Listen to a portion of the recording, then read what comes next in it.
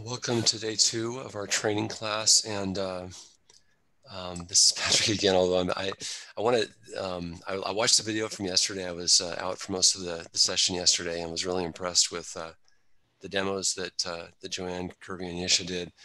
Um, I hope you were too. I wanted to, to ask for some quick feedback and just see what your, um, your highlight of yesterday was. Did you dream about any special design patterns? Um, and then we'll do a quick review. Um, Emma, do you want to go first? Any major highlights for you yesterday? Yeah, um, I know that Nicole briefly mentioned during that meeting, we've actually implemented, at least in the forms that we have in test, I believe all of the um, different functionality that was demoed yesterday. But I actually had never had the benefit of seeing in particular the DBXL demoed from beginning to end. So that was really beneficial for me because I've only ever worked on forms where it's been pre-configured. So that helped a lot. Yeah. and it was really work. it was really dense going through that, and there was a lot of. I'm, I'm sure you probably have questions about like uh, you know the, the, user keys and things like that that that Joanne went through. Um, but but it all made sense. yeah, good? yeah. It, it, I had the benefit of having seen how it looked in our setup in existing forms. We actually have a form that we as a financial institution, um, our forms, we really wanted to use DBXL to draw in um, active um, member or customer data that we could use in filling out forms. And we actually have, I believe, at least two, if not three forms that are actively querying the database and oh, drawing oh, in. And you're using, so you're using QueryDB, is that right? The, the yes, web service? Yep. Yeah.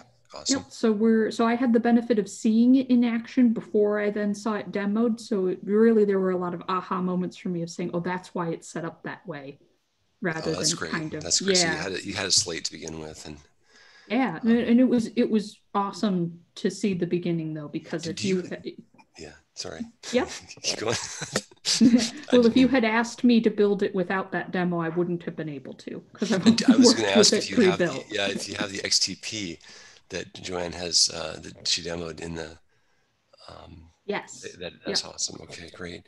Well, thanks for that feedback. Uh, let's see, uh, Benjamin. I know you're going to you're in another meeting today, but um, we got lots to cover today. But did you have any highlights for yesterday? Um, yeah, the a lot of the um, I think one of the things is uh, the fact that it works in um, a list versus a library only. Um, but again, we have like a very old version of the application. So um, there are just a lot of features and functions. Um, it's much more advanced than what we currently have. So. Cool. Yeah, I was surprised. I, I learned something new yesterday too, in watching the video recap. The, the circular uh, images was, I think, a really cool CSS technique that um, we, we saw with that um, end of day report form. Richard, did you have any um, any inspirations from yesterday that you want to share? Well, uh, I actually ran into a couple of problems uh, with the lab, so um, I I wasn't able to get the validation to work, um, and uh, so we should look at um, that. We should yeah. we should we should look at that. Um, do you want to just to show us real quick what happened? Um, I'll tell you what. You want to move on to someone else, and then I can okay. let you know when I get it pulled up, or uh... yeah, yeah, sure. Okay. Um, yeah, so we're just doing a quick review, recap of uh, yesterday, and uh, and then to talking about the topics for today, and um, so I'll just go over some of this here for the review. I mean, obviously, uh, FormsViewer is meant to be a replacement for InfoPath, but also it takes it to another level in um, in many ways. The CSS is one way. Another way is these new features we've added to, um, for example, query these JSON-based web services, and and that means we can tie into these new um, web services out there, like like the authentication from Twilio, um, you know, the Auth API. API. We can also uh, tie into uh, Salesforce, you know, DocuSign. There are all kinds of new uh, everyone's got a web service these days. And if you're wanting to query data from them, you typically have to use JSON. And, and that's uh, one of the major early day improvements that we made with FormsViewer because InfoPath could not query JSON. So we did that. I think it was like five years ago. Um, but there's other stuff too. Um, a lot of the the techniques that we are going to be demoing uh, today and tomorrow. There's some very, some new stuff too. Um, why is it important to make your data connections dynamic? Emma, do you want to take that? Sorry, I'm muted. Um, well, I know that one of the reasons that we make the data connections dynamic is so that we can have the form connect to different libraries without actually having to go in and change anything within the form. We set it up to connect to I, I, you can correct me if I'm wrong. I, I think it almost works almost like an alias from what I understand about it. Right. And you're essentially saying, take this data connection. It may change. The form, however, doesn't know that it's changing. It just knows that it's connecting to data that it's expecting to come in and populate. As long as the data is the same schema, the same format, the same structure, then it, you know, we, we just point it to a different site and, and, and use those uh, change, uh, change, was it the change, uh, URL command. I, for, I, forget the name of it, but there's a several commands that we use. It's the change connection URL, right? Right, Joanne? yes, that's correct. it's earlier. I haven't. I need to get some more coffee or something. Um, but but yeah. So um, we we you know typically the most important reason for for making it dynamic is so that you can move your forms, like you said, from from test to production with zero change, and that means that whatever you've tested in test is what you're going to have on, on the production. You don't have to do another test pass on production after you deploy it because it is the same template. And that, um, because it, you know, it's exactly the same, that reduces uh, possible maintenance issues that you would have by updating those data connections, you know, when you go to production. It's a typical scenario. Um, let's see, how does FormsViewer help you retrieve user information? Yesha, good, good evening. Do you want to answer that question? Yeah, so um, we can use the uh, Qdabra rules command called get user profile by name. So that's a command that uh, offers us a way to retrieve SharePoint user profile data and be able to display them in a form. Great. There's there's two ways to use that command. Um, there's two two kinds of, of SharePoint user information data with SharePoint Online. There's the the user profile service, but then there's also the, the site users. And you can just change it to point to one or the other with just a, a parameter. I don't know if you covered that yesterday, um, but there there is a switch there uh, to to change it. And we've done webinars talking about the difference between the two. Uh, so if you have questions on that, one of them is updated from Active Directory, and the other one is updated uh, differently. And some some properties, there's more properties in one area than the other. And anyway, that's all in a webinar. We should probably dig that up as a reference. And did you talk about it yesterday at all, Joanne, Yesha, Kirby? No, we didn't have a chance to yeah. talk about Lots it. of stuff to talk source, about. It's the source parameter. I just want to mention that. do you do you remember what the the big differences between those different sources? Um, when you use profiles uh, for your source parameter, it will query the uh, the user profiles in SharePoint. But if you use the site users, it will query the site users list in the site where you're in. Mm-hmm. Great. So it's site specific. In that mm-hmm. Express user profile service is everyone on it. Right. But that's everyone on the site too.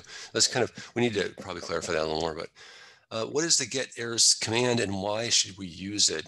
Richard, since uh, you asked the validation question or you had validation issue, let me ask you that, that question there as our recap review here. Do you uh, know what the answer is to four?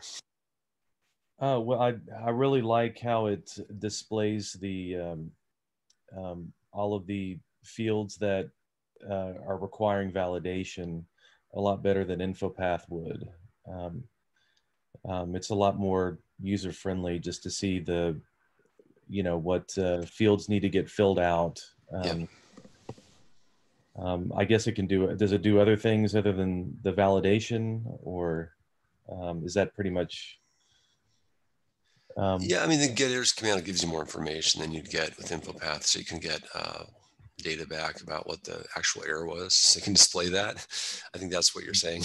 but um, but yeah, I mean, eh, with InfoPath, you get that pop-up dialog, right? Uh, right. With an error message, and and this way you can display if you have more than one error, you can display them all, and you don't have to have somebody you know, you just see the top one or whatever it is. Is that that's right? I think. Um, I do. I do have the the form pulled up. If if you wanted to look at that, or we can look at it later. Um, yeah, this is a good time to recap and, and review any lab issues. Um, and this is a small class size, so I think that it, the others would benefit also from a quick debug. Um, so maybe if we just took a few minutes to take a look at it, that would be great. Do you want to share out? Sure, sure. Let's see, this share screen. Let's see if this works. Um, Joanne, I forget who who did the, the validation lab yesterday. Oh yeah, that was me, Patrick. Okay, cool. Um, it's saying I can't share uh, while someone else is sharing. I guess. Oh yeah, sorry, I'll stop sharing. Okay. It's a new Zoom feature. Okay. Used to be you could Yeah. just share over everyone else, but Let's, let's see if this will work here. Um, did Emma were- and, and Benjamin, were you able to actually look at other um, the labs at all? Did you have time yesterday to look at this lab? Look, um, no. No. I followed along. Cool, cool. I'm gonna open this form and just so we can quickly see what's I, I have these first two fields that were set to to to validate, uh, but for some reason it's submitting the form. Um, and uh, if I pull that form up, um, yeah, this is the yeah, this is the correct form.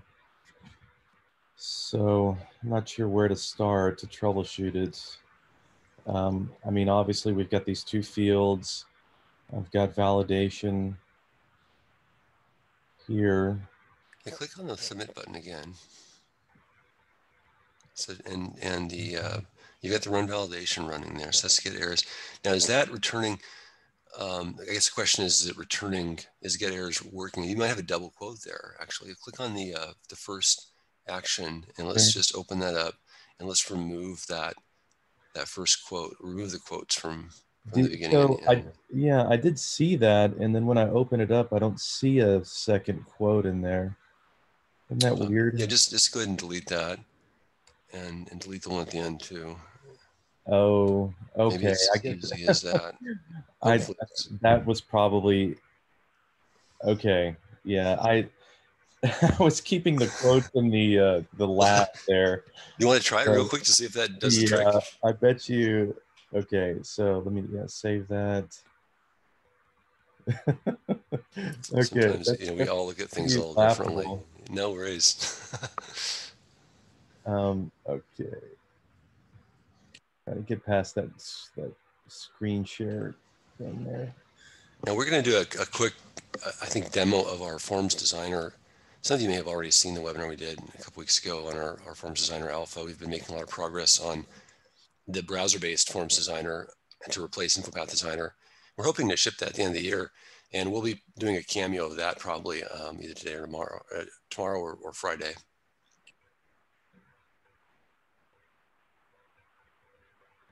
Fourteen, eleven, thirteen. Yeah, this is it. Okay.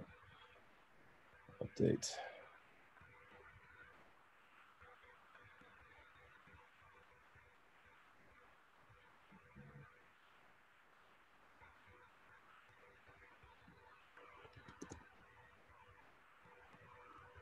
Yay, there we go. Success. I always love when it's that fast. Yeah, okay, cool. great, cool. Very cool. All right. Awesome. Um, yeah, Joanne, so, so back to your slides there. All right. We had one more question left uh, with uh, the quiz, the recap. Yep. And what is that question? That is, what is the benefit of submitting your forms to DBXL? Emma, that's going to you. Actually, Benjamin, you have DBXL. We'll, we'll ask you that question. If you're still there. Um, I'm still here. What is the benefit of, um, well, for us, it's, uh, the data, um, saving the data in SQL. So Yep, pretty simple answer. yeah, there's other things too that we've added over the years. Uh, the ability to email, generate PDFs. Obviously, querying the database is something that um, Emma and Nicole will be using or are using already. Um, and then there's there's a host of other web methods. We actually have over a hundred web methods in that web service. There's actually like seven or eight web services and and lots of web methods. And we use that over the years. Whenever we have a project that needs something, we've always just added something, a tool, you know, a web method there. In fact, we haven't made a lot of changes recently to DBXL. We did ship 3.4, I believe, earlier this year. Um, and we did make a change recently to uh, allow for um, this anonymous mode for a couple of the web methods. So I think that for get history and get get version history and get document history, those now have um, versions that are tokenized, kind of like the QueryDB with um, user key is tokenized with that user key. So those two me web methods are new as of like last month. So we actually continue to make changes there. Okay, so let's see, what's next, Joanne?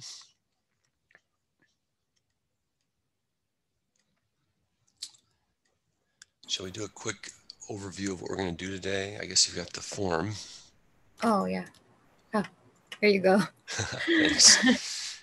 okay, day two. So um, this is some new stuff that we haven't showed people this year. I mean, I don't know if we had floating labels in the April training. We certainly did not have the task panes, right? I'm trying to remember. Did we? Well, we have the task pane in the April training, but it's a fixed task pane. So we're now showing a, a task pane that is more uh, collapsible Looks using great. a toggle button. Yeah. Okay. Well, I um, think I'll just let you guys run with it then, and uh, I'll be lurking here. But any questions? Um, any other questions on day one from anybody out there?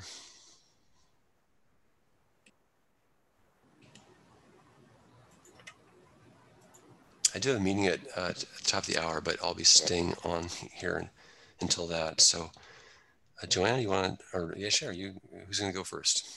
Um, yeah, I'll just uh, talk about the uh, some of the what they're going to see in the labs today. So, uh, lab one, Yesha will show you how you can make your forms responsive so that the form looks good regardless of the size of the window and as you know, there's a high demand now in making uh, websites responsive, you know, so we, we thought about designing responsive forms. So this is a, a good opportunity to, to learn and make your uh, forms look good, especially in mobile view. And lab two, Yesha will again talk about how to make the, the labels float and I just saw an example of this in uh, in Gmail actually. Um,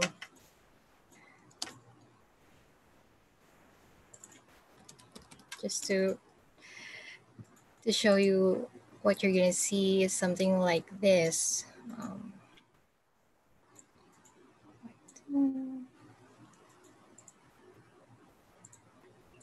yeah, so so you can see Gmail is using that floating label. So when I tap on the on the field here, the, the label will float in that field. So we thought about applying this technique also and uh, Kaoru Okamura discovered this technique. Um, so we're teaching you how to to apply that in your forms as well. So Yesha is going to to show you that.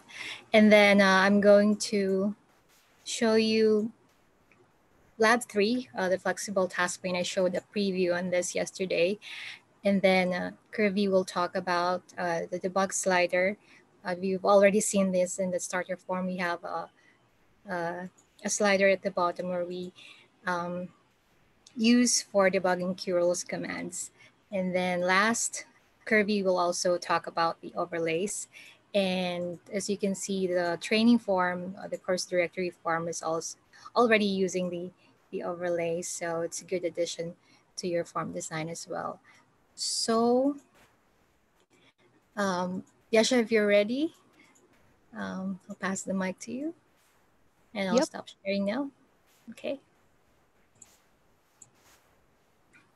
All right, so let me just share my screen and let me know if you can see it now. Yeah, I can see your screen.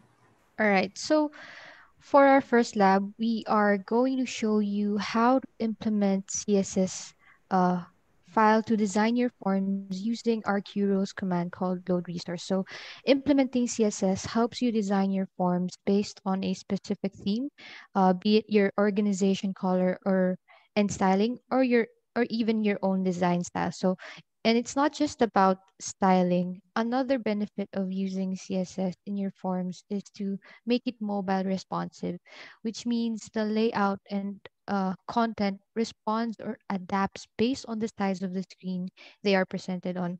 And as you know, our devices have different screen sizes. Our laptop, tablets, and phones. So CSS helps you make your forms responsive to all sorts of devices. So um, let me uh, show you first the form that has no CSS in it. And let me open that up. So let's open our responsive form starter with no CSS. So this is our basic form created in InfoPath and no CSS has been applied yet. And if you try to minimize your screen, it's not being responsive as you can see and this won't be mobile friendly so let's go ahead and open this exact form but with css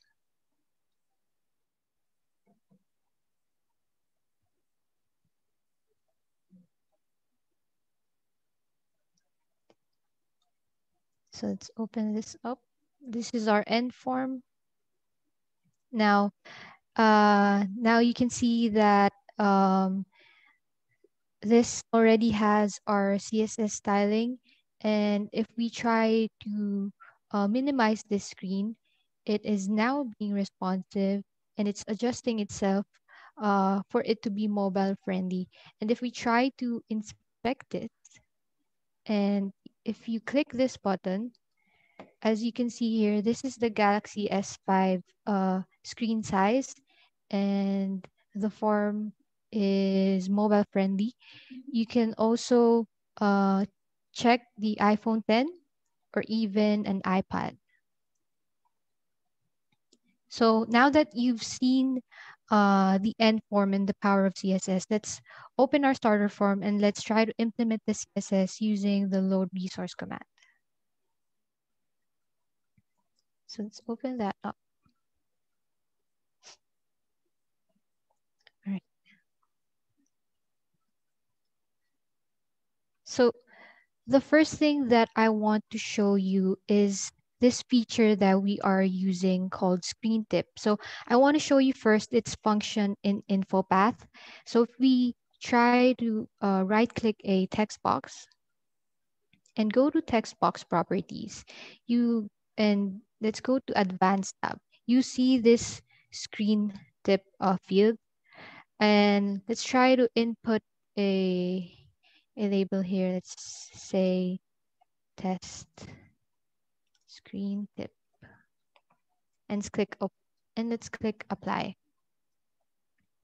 And when we go to preview, and if we hover to that text box, so um, the purpose of the screen tip is to provide a small window for a descriptive text for your text box. Uh, but thanks to Kaoru, he created a JavaScript wherein we can use this screen tip to provide a unique identification, which is called a class for specific sections and fields. So this way, the class can be used to apply CSS formatting on that specific control. So uh, meaning if I want to have this specific section, a green background color without changing the style of other sections that is possible through the screen tip JavaScript uh, that Kaoru uh, made for us. So to do that, let's um, you let's select a section and let's go to section properties like we did, and then go to advanced tab. Now, um, now in the screen tip, to be able to use the function of the JavaScript, you need to start the name with my. So that's because the JavaScript is looking for that specific prefix. So let's just name this my sample. And then, so when you try to call this in CSS, you will be able to add CSS declarations or styles to this specific section only without uh, uh, overlapping the, design of the other sections that you have. So now that uh, we've, uh, we've shown you the steps on how to add a screen tip, um, I've already added a few screen tips into our starter form. So this is our section, which is our the whole form. And I've already added here a screen tip, which is called my main. And then, and then inside this main, in this section, I've also added here a screen tip called my body. Now, uh, that's how easy it is to use the screen tip function and be able to incorporate it in CSS. And I, I will show you later on how do we call it in CSS. So let's first uh, proceed with adding our resource path, so which is our CSS and JavaScript file. To do that, let's go to data, uh, resource files, and then let's click add. Now, um, the JavaScript for screen tip swap and the style CSS is already included in the package that uh, we've provided. So you just need to open the screen tip swap and click OK. Now that's already added in the resource files. Let's try to add our CSS styles. Now, now that's now that we've added that resource files, let's now use the load resource command to be able to implement these in our form. So let's go to our Qdabra secondary data source and let's open the manage rules. And let's go to finish loading. So of course we want the CSS to be applied upon loading the form. That's why we are including it in our finish loading node. So let's create an action and let's name it load resource. All right, so this is where we are going to use the Qdabra rules command. So let's add and set a field's value. And in the field, um, let's set here the command from the Qdabra uh, secondary data source. So let's select the command. And in the value, we are going to run the load resource command of Qdabra rules. And since we do have two resource files, um, we have to call them both. So to do that, let's add a parameter. So let's add a backslash and type name. So that's the parameter and then equals to the name of your JavaScript or your, C or your CSS file. So the name of our JavaScript file is screen screen tip swap.js and let's click OK. And now let's try to load our CSS file. So let's set a field's value. And then for the field, let's click this button and then make sure you're on Qdabra rules secondary data source and click command. And then for the value, again, let's, we will be using the load resource command. And then for the parameter of the name, uh, the name of our CSS is styles. So dot .css. And let's click OK. Now, once that's done, you've added the resource paths, you've triggered the load resource command. The result of this form is the end form that I showed you earlier. Now, um, I want to quickly show you what's included in the CSS and how it became responsive.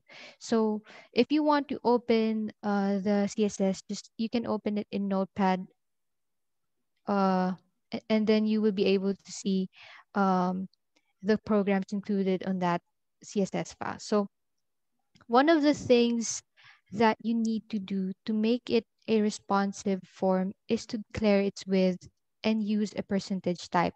So in here, as you can see, I, I have declared the table, the column, the section, and the XD expression box, which is equivalent to our calculated value field, to a to have a with 100%. So this is me saying that I want this controls to expand its fullest with within the screen. So, and if you try to minimize this, it will adjust itself to the screen because it is a percentage. So that way it can be responsive and you'll be able to use this um, in your mobiles. You can you will be able to open your form and see and know that it is mobile friendly. And then you can also use this with different controls, not just the tables, the columns. It depends on the design and the layout of, of your form. But for our starter form, we are declaring the width size of these uh, selections. And now for uh, below the uh, this declaration, we have the main and the body. If you recall, I, I showed you earlier how to apply the screen tip and what is per, what what's its purpose. Um, and to be able to, to really show you what it does is let's go back to our end form. And let me quickly show you the style of our main uh, section and the body. So our main section has a different color as you can see. This is the main section. Um, it has a light gray color. Now our body section is this card. This one. This has a light uh, this is a has a white background color and as you can see it looks like a card type now i was able to give them two distinctive designs because of the screen tip uh, swap javascript that we have right that we uh, have right now and let's go back to our css style if you look at our main um, declaration, as you can see, I've changed its color uh, to a light gray. And then for my, for the body section, I've changed its color to white. And then for the border radius, this is the edge of, of the section uh, wherein it will curve its ends. Um, and I've declared its value to 20 px. For the box shadow, I've also added a box shadow. If you did notice, there is a box shadow behind that card. And then for the width, as you can see in our end form, um, it did not expand. Uh, it's left. It did not expand throughout the the field. It still has spaces from with its left and right. That's because our width our width is just ninety percent. And then I've also added a margin and bottom um, declarations for it to have spaces at the top. So that is the power of the screen tip. Again, I was able to design two distinctive, two different sections with distinctive designs. Now, I also want to show you uh, this feature on, let me minimize this. if I slowly uh, minimize our screen, as you can see, it changes. Uh, the form changes its style and when the screen is small, the our field stacks up.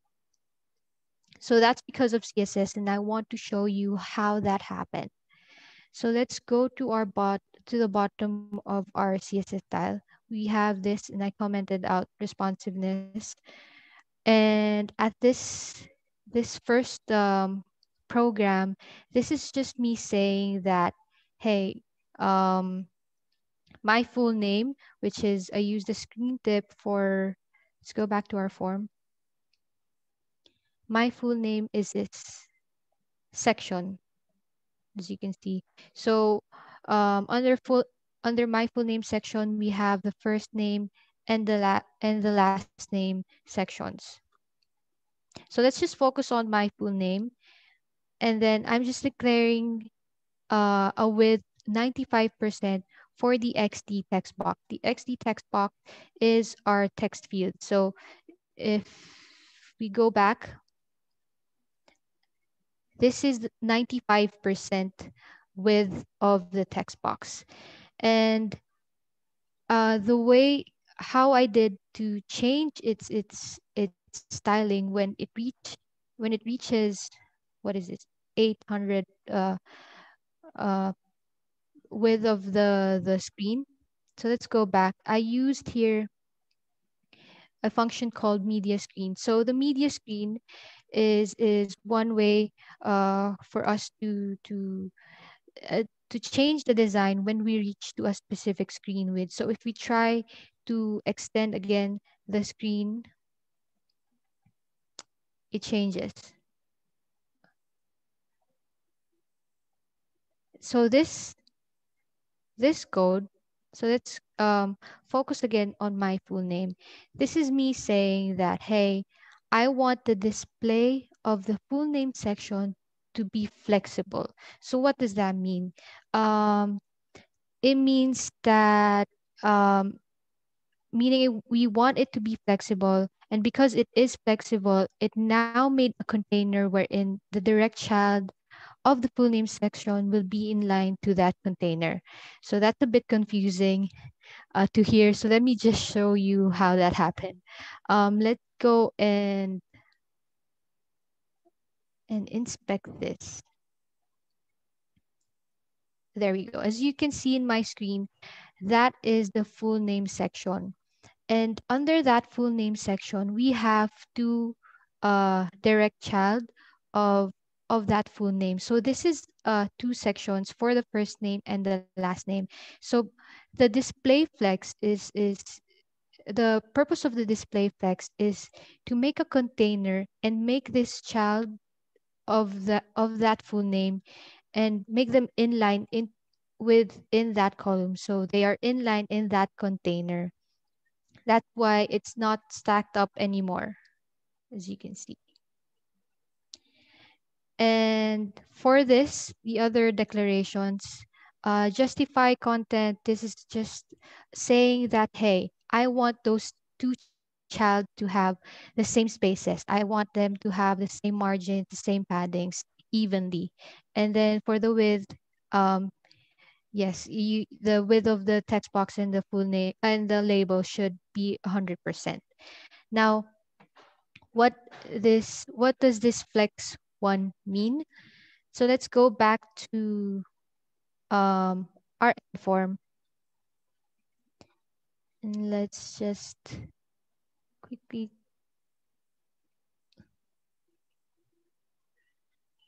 I, I can't find the flex one, but should be here. Um, all right, so let me just explain the flex one. Oh, here we go. I've seen it. The flex one just means that, hey, use all of the spaces of my full name container. Don't waste any space, use every space that is available. So if we try to uncheck this, meaning we don't have a flex one declaration, as you can see, it is not using all of the spaces available in that container. And if we try to check the flex one, it is now extending and using all of the spaces. So I hope you you you learn a lot uh, um, with this lab and if you want to achieve a specific design for your forms, you can search numerous CSS declarations online. But if you need any assistance, of course, we'll be glad to help you out. So thank you. Can I ask a question? Yeah. Um, so are all of the fields in the form uh, encapsulated in their own section? um, like it looked like you like there were each you have like a major section and then you have mm-hmm. everything is sort of like in threes it looks like where um yeah so I, I i i did this and i added a few sections because adding a section creates a new divider. And I wanted to have a, a specific de designs for each divider. And I was able, uh, if, for example, what I showed earlier is I have a main section and a body section. That's because I want them to have uh, different designs. So that's why I had multiple sections. But it it's it depends on you and how you want uh, to structure your form and to lay out them. So you can add a section without creating a, a node. Um, if you click, yes, if you click on the section, you're binding them all to the same field, mm-hmm. right? The same. This is a, a, common trick when when you've got um, you want to add a lot of sections to your form. You don't necessarily want them to create new folders in your fields, right? So right. you just bind them all to the, the main root node there. Okay. So does the the full name section? Um, it has two sections underneath that. Is that mm-hmm. like one? Yeah, that's correct. So this is the full name. Okay. And yep, and we have two sections underneath. I will actually explain why we have another section for the first name and last name for the next lab for the floating labels. Yeah, this is a little different than what we've done in the past, um, but it, it's very clever, Nisha, that you came up with this way to do it. And um, you know, once again, it's really targeting the the mobile to allow for not only laying it out responsibly, but also collapsing it if you have more than one table or more than one column. Um, and I think there's another way to do it. Did, did we, in the original lab that we did back in, uh, was it April or May? I forget when when we did that with Kaoru's uh, sample. Did she do it this way too? Yeah, sure. Was it different? Um, this is Kirby Patrick. I think yeah. it's the same. Yeah, it's the same technique. Okay. Great. Any other questions for for Yesha?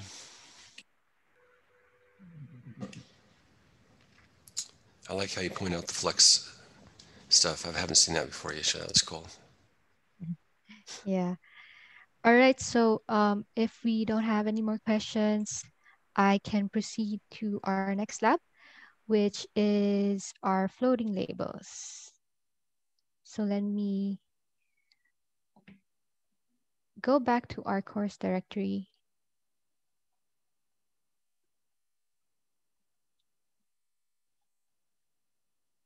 And there we go. So for uh, lab two, we will be showing you how to add the floating labels feature, which was uh, presented earlier by uh, Joanne. So again, we will be showing you how to add the floating labels feature to your forms with the CSS and JavaScript that Qdabra will share for you. So let me go ahead and, and show you the end form of this lab.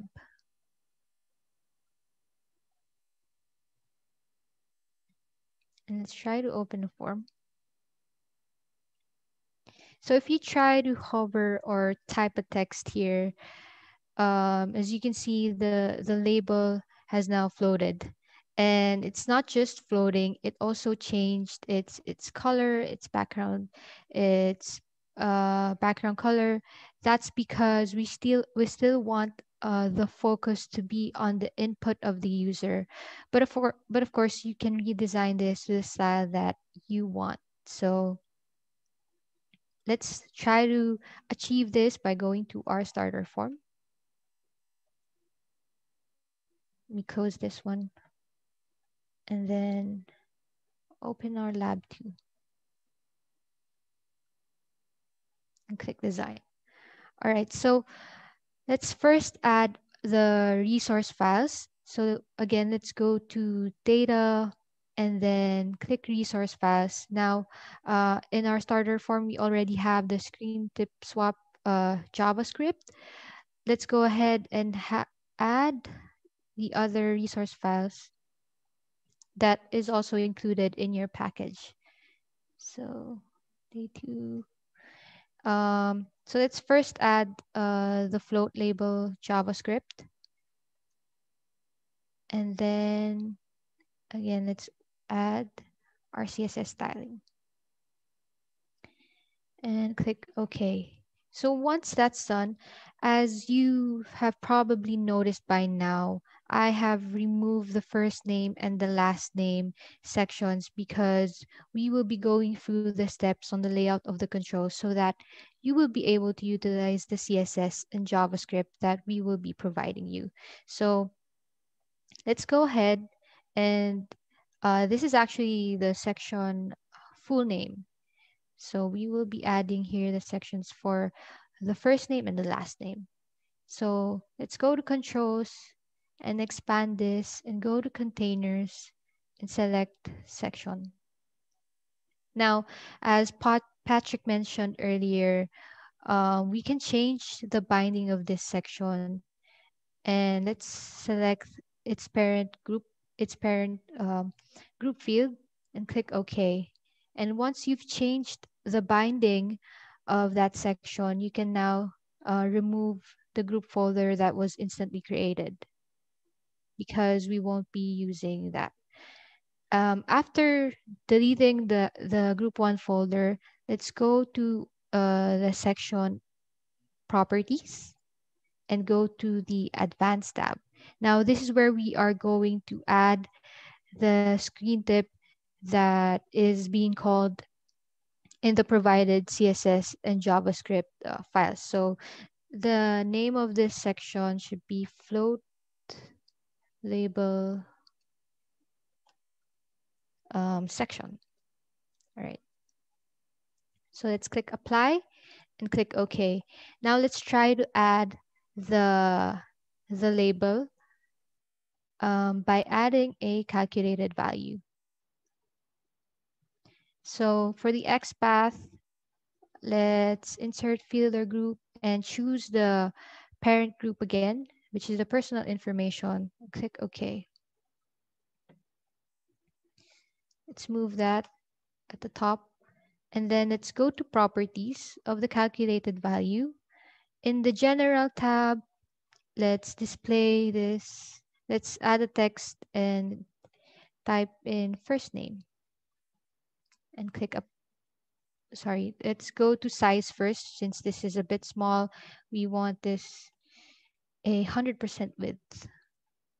And then for the advanced tab, uh, we will be adding a screen tip again because this is being called by uh, the provided CSS and JavaScript. So we are going to name the label field label and click apply. All right. So once we've added the label, we are now going to add our text box, which is our first name. Let's drag and drop that into our section. And let's remove this label. Now let's go to the text box properties. And then we will just be changing its size. So let's change this to 100% and click apply. So let's do that step one more time just for us to be familiar with how the layout of the float floating labels is. So again, let's add a new section. This time we are going to uh, do this for the last name. So let's add a section. Again, as you can see, it created a new folder called group two. And then let's go to section properties. Sorry, let's first change its binding. And then click the personal information, its parent group field and click OK. Once it's, the binding has been changed, let's delete this group 2 folder as we won't be needing that anymore. And then let's add our calculated value, which is our label. For the XPath, insert field group, let's uh, choose personal information, click OK, and then OK. Once that's done, let's go to calculated value properties. And for the text, we want this to be labeled last name. And then we want to change its size to 100%. Click. And then again, the screen tip of this should be my field, sorry, my field label and click apply. I may have forgotten to add the screen tip. Yeah, so uh, two things that we should not forget is to add the screen tip of the section and to add the screen tip of the label. So again, for the screen tip of the section, this should be named my float label section. Click apply and click OK. And then we are going to drag and drop our last name field, our text box field. And then let's just remove this label and let's change the size of this text box. It's a bit too small, 100%. Click apply, click OK. So now that we've done that, um, uh, now that we've added the section, the label, and the text box, again, just don't forget to add the screen tip of the section and the label, just like I told you earlier. So let's go ahead and add the load resource. Um, let's go to our Qdabra secondary data source, finish loading. And as you can see, we already have our load resource action here, but it is currently just uh, loading our screen tip swap JS um, and we will be loading another two files. So let's go ahead and call our Qdabra rules command and the command rule should be load resource and add a parameter which is equals to, so the name of our JavaScript is float label.js. Click OK now we are going to call, um, we are going to load our CSS style. So let's go on and click this and go to Qdabra secondary data source and click command. And the value, again, let's type load, load resource. And then add a parameter name is equals to styles.css. And let's click OK.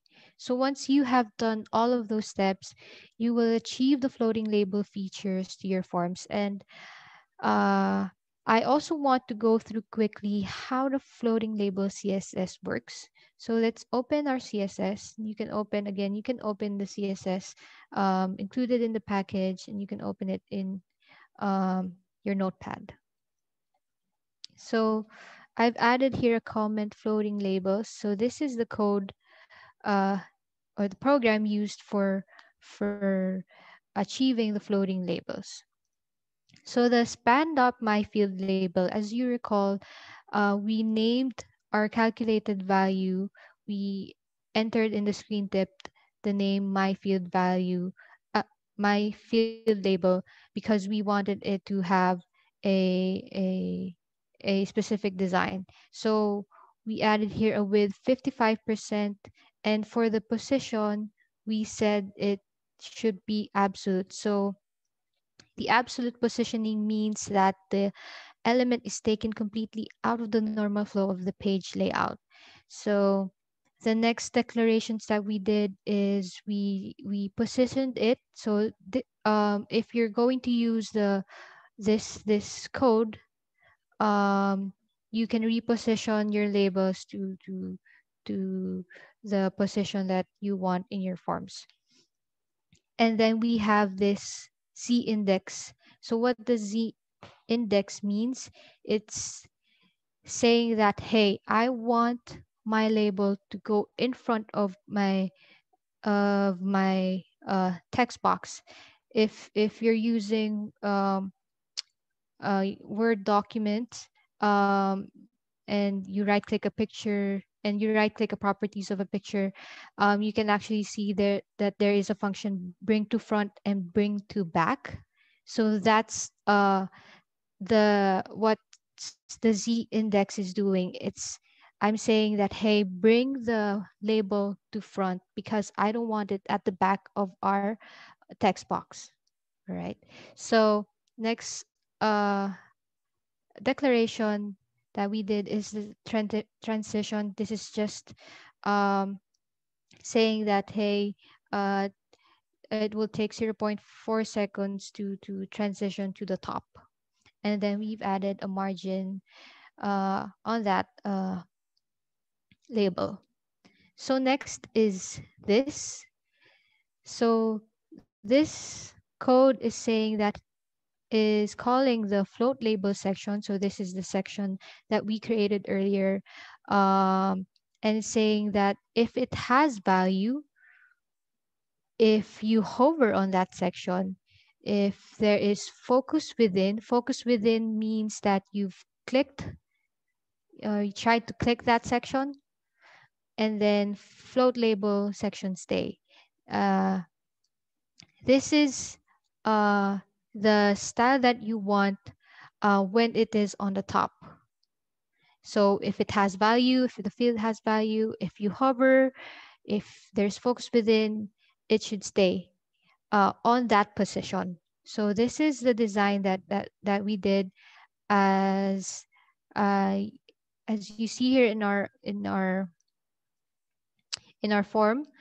Um, the color changed into a light gray, and then the width we just said auto, and then for the font size we made it a bit smaller um, because we want the focus to be in the on the output of of the on the input of the user. And then the top this is the position of of, of the floating label. And then for the background color we just declared it white.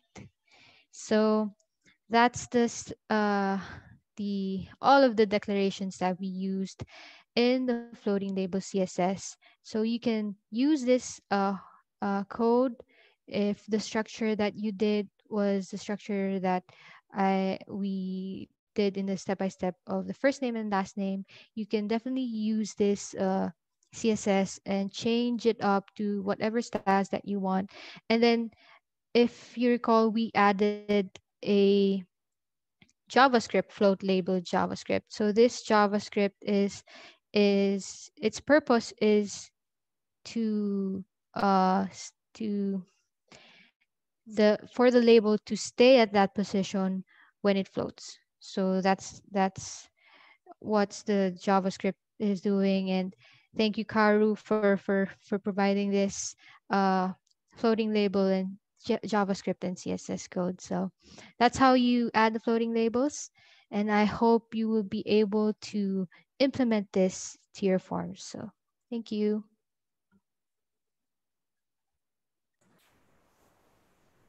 Thank you very much, Shesha. That's a wonderful demo. We learned a lot about CSS styling. I think that you did a very good job explaining this technique. Um, so, uh, does anyone have any question for Yesha?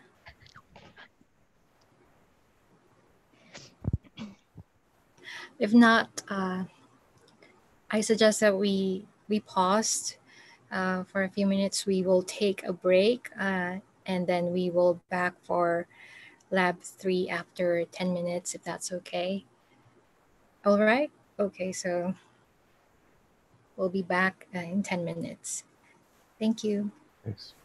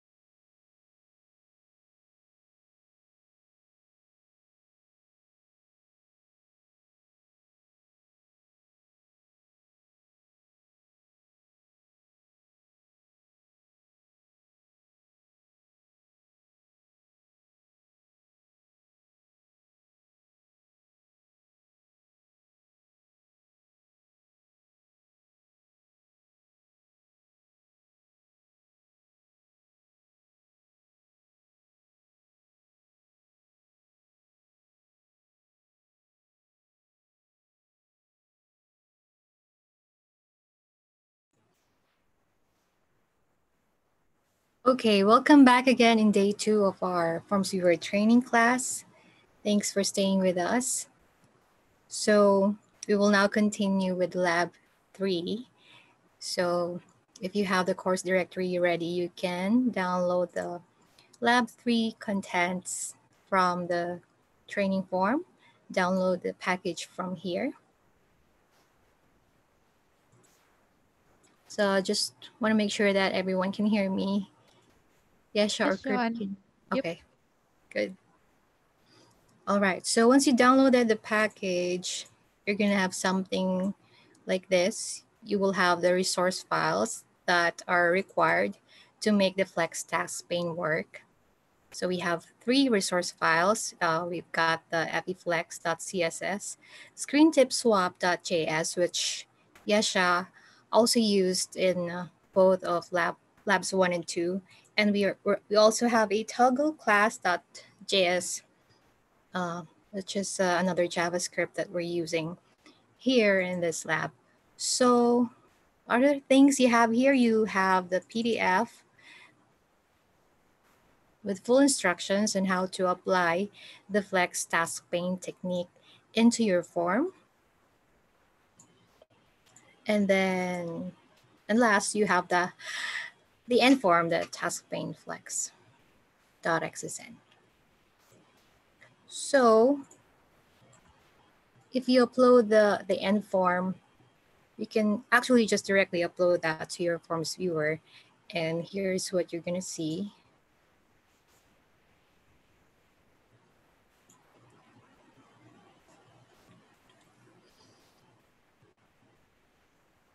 Okay, so this is a toggle toggle button for displaying and hiding the task pane. So by default, the task pane is not showing. So if I click here,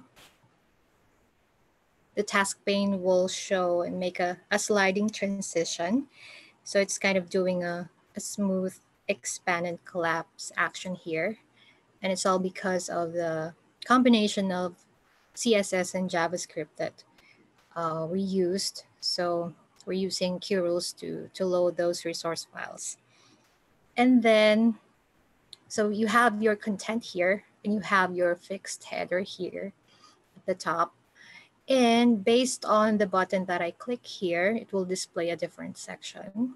So the sections are, are uh, sort of like a placeholder for your form fields. So if you're going to start a form from scratch, this is a, um, it's, it's really nice to use this form because you already have a, a placeholder for all of the, of the sections and you have, you can use the buttons here to display the sections using the hide show formatting rule like that. So if I'm displaying a section that contains a, a, repeating table, in this case, I'm querying a list here.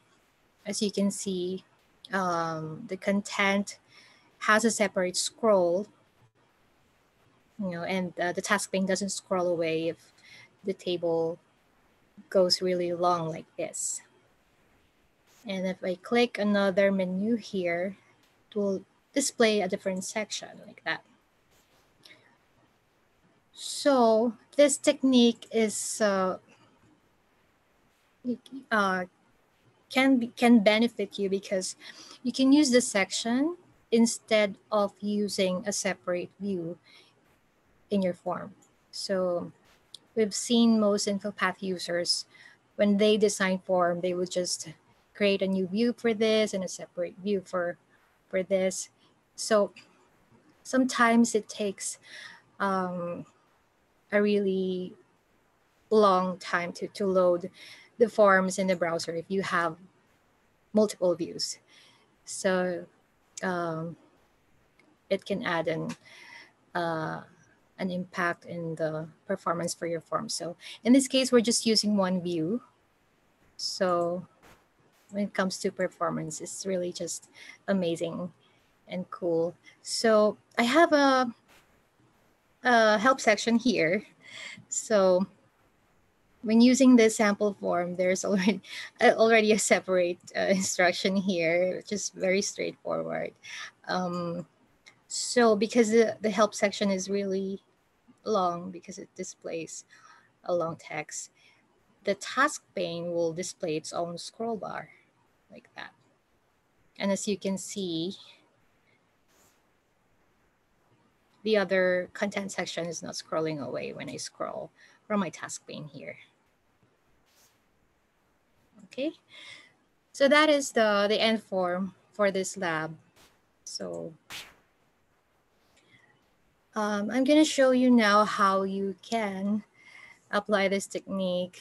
Actually, I, I wanted to show you how to do this from scratch because uh, previously we just uh, tell users to oh use this sample form just um, upload that to forms you already know but uh, now uh, for a change I will start uh, the form from scratch. Okay. So I'll just follow the, the, the steps here. If you have it open so that's what I'm gonna do. So I just opened the, I created the blank form in InfoPath and I already injected this with qRules because you need qRules for this uh, Flex task pane to work. And I'm gonna delete the default table that comes with the with view one. So what I'm gonna do is add a new section. Okay, hold on a second. So this will create a new group and it will add that group to your main data source. I, I just simply rebind that to, to the root node like that. So this becomes your header, your header section. And like what Yesha showed you, I'm going to use the screen tip. So for this technique, you need to specify the exact naming convention for the screen tip. So take note of that, follow the, the naming that we use, especially the, the prefix here because the CSS will look for that. Okay, so click apply. And then I will add a two column table and insert a logo. Okay. Um, where are my logos? Okay.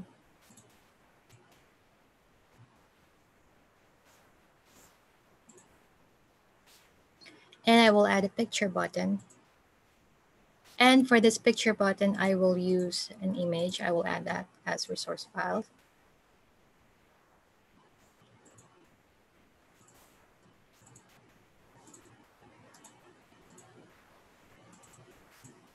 I call it hamburger. yeah. Um, so, so this is the, the header section. And then I will add another section here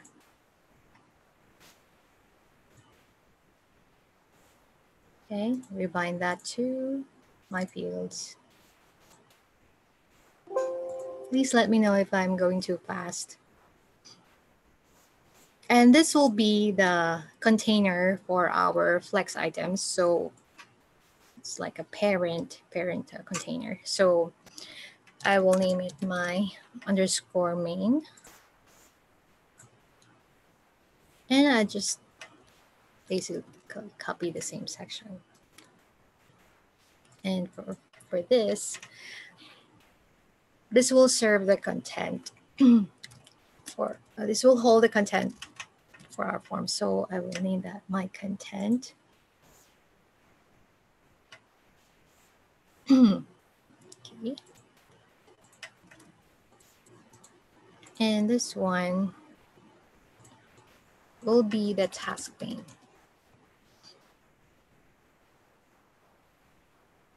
Okay, I do that really fast. So this is the task pane.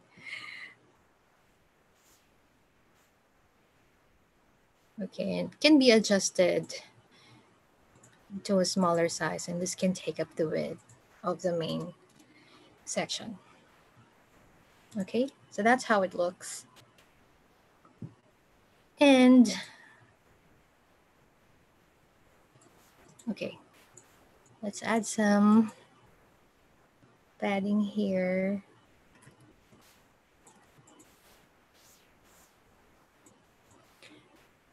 And of course you need some some fields to put into your content. So I'll just put some user info here.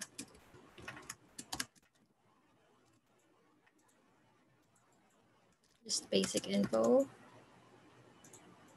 Don't want to keep this long.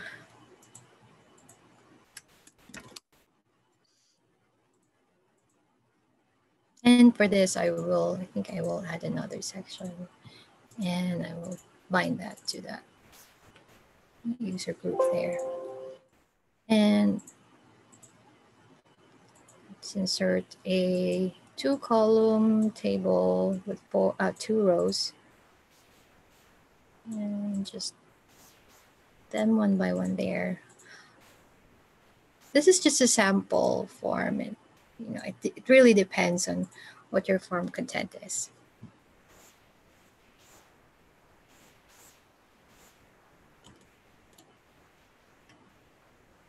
Okay, let's see this. And then for my task pane, uh, you can insert a table here, one column table to hold the buttons. Hmm, let's make this larger or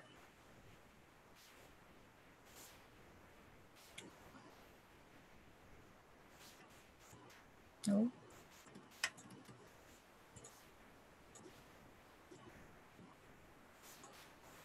Okay, and this is where I add the buttons. And make them 100%.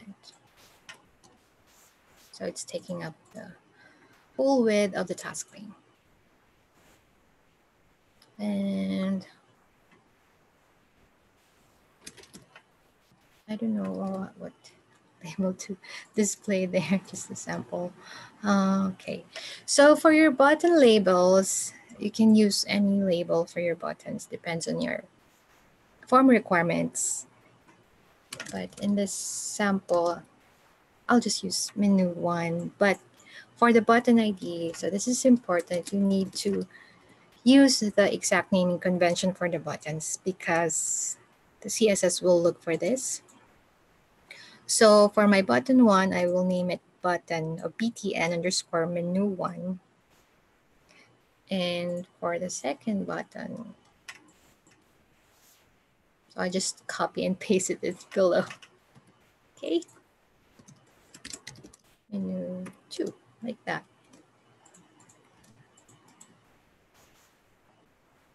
Mm.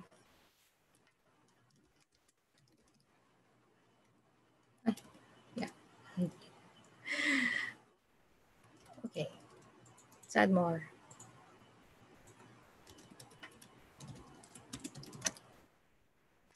Okay. So in terms of designing the view, this is basically it. It's like a skeleton, but when you see how we apply the CSS later, um, you're gonna see that design is changed by the CSS and JavaScript. So I will add those resource files.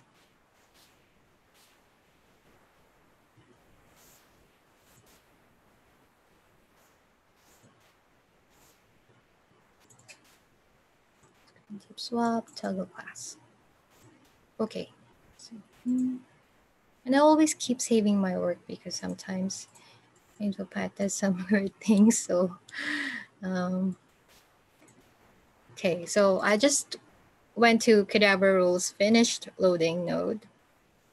And here is what we're gonna add. What we're gonna add. Um, load source. And we're going to add load resource command.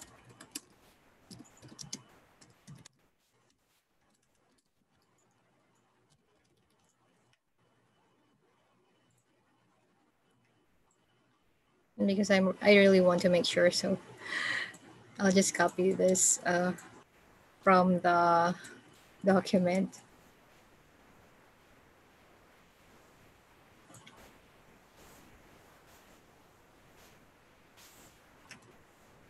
Toggle class and then screen tip swap.js because this is uh, qRules is case sensitive, so you re you really need to make sure that the the file name is spelled correctly with the extension load resource. Okay. And then I think one last thing is to add the custom command in the toggle button. So we will add a new rule here to load the script. Um, okay, back to my documentation here. So we got three actions to add here.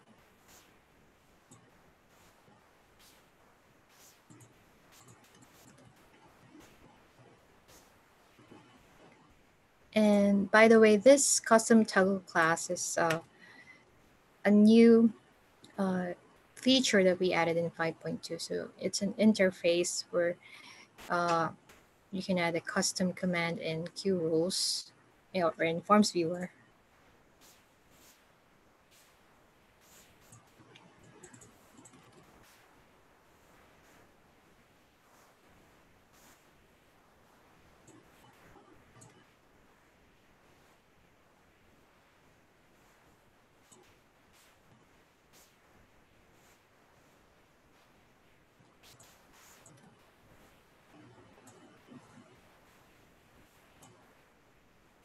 And Kirby, uh, sorry to put you in the spot. Can you uh, uh, can you uh, talk about the custom toggle class for a bit while I verify something here? I know you are very familiar with the custom command. You there, Kirby? Yeah, so for the custom, see, um, for the custom toggle class uh, that uh, Joanne showed you here. Uh, it's actually uh, a custom qRules command uh, called toggle class. And uh, this qRules command is not built in Forms Viewer. it was registered using the JavaScript that Joanne loaded earlier, the toggleclass.js. So if you have knowledge in using JavaScript, you can definitely build your own qRules commands and customize it, uh, customize how you want it to function in Forms Viewer. And um, that toggle class uh, command, uh, it accepts the following parameters, the selector, the class, and include.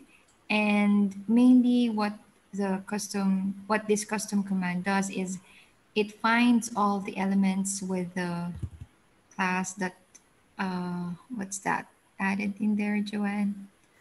Oh, I yeah, forgot. sorry. Other class and CSS. Yeah, it finds the value that is added in the selector parameter and it toggles the open class on them. So if they already have the open class, uh, it removes it. Otherwise, it adds it. So that's why the toggle uh, function works in uh, in that task pane. Thank you so much for that explanation about custom commands.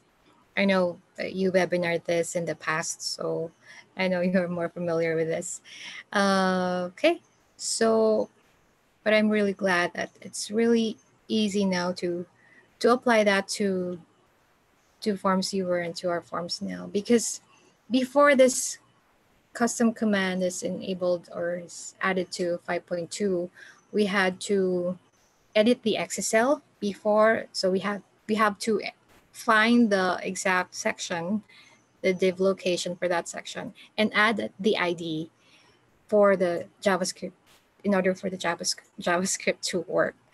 So that is really tedious because uh, you know you don't normally go into the XSL code, especially if you're not familiar with HTML or XSL. Because if you break that XSL, then um, your form will break. So um, we want to prevent users from editing the XSL. So we added this custom commands in Forms Viewer 5.2. Okay, thank you, Kirby. All right, so just trying out my form if it works now. Um, okay, so I have a little bit of uh, adjustment need there for my logo. And let's see. So my task pane is working and it's sliding accordingly. Um, it just need a little bit of uh, finishing touches, I think. Um, so my button highlight is working as well. And actually this highlight is in the CSS. So the CSS file is doing all these things uh, behind. And so actually, uh, Yesha did a very good explanation about Flexbox. So this is working because because of the Flexbox property, right? Um, let, let me close my test form here and just go back to the final end form. Um, so actually what it does, it's um, you basically have a container and set the property to display as flex. So in this example,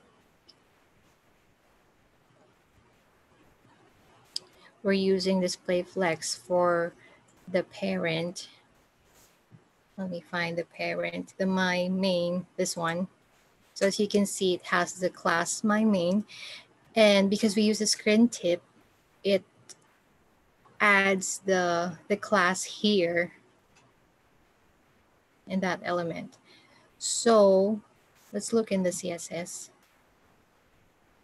So as you can see, I'm using the display flex property, just like what Yesha uh, showed you earlier. And uh, so when you use this property in CSS, all of the child items inside that flex container or, that flex box will be, uh, what should I say, flexible or, or will be the flex items. Um, and by default, the, the flex direction is always column. So I think let me try to explain this in layman's term. Um, so imagine that uh, the Flex container holds these brothers. so the Flex items are brothers. And imagine that this is, they are playing or they are in a stage play and some of the brothers are are presenting. So in this case, the my content is displaying and the other brother is just hiding.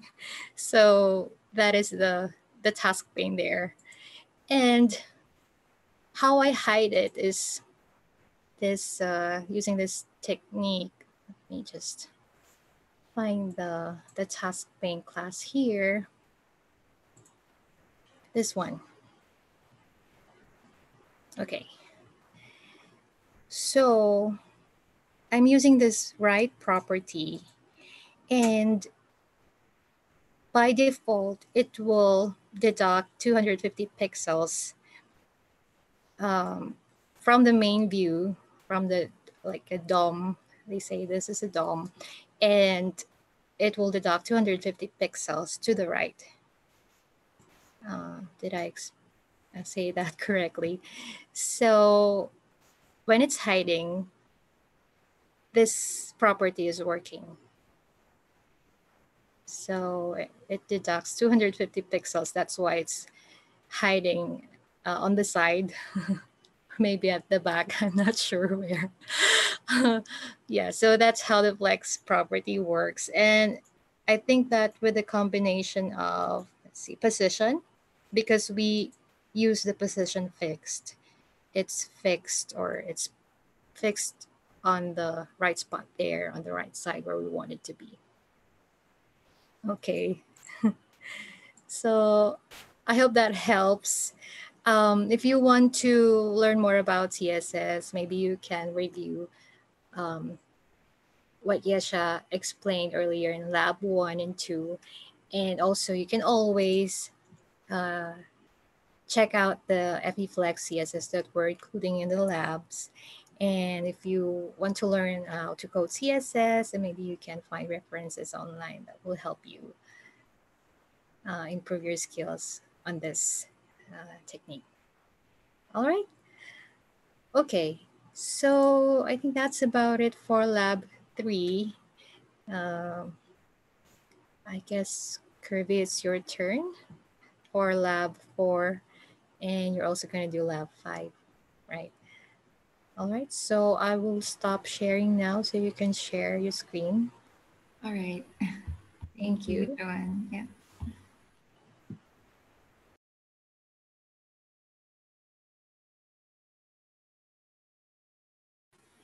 All right, uh, just share my screen now.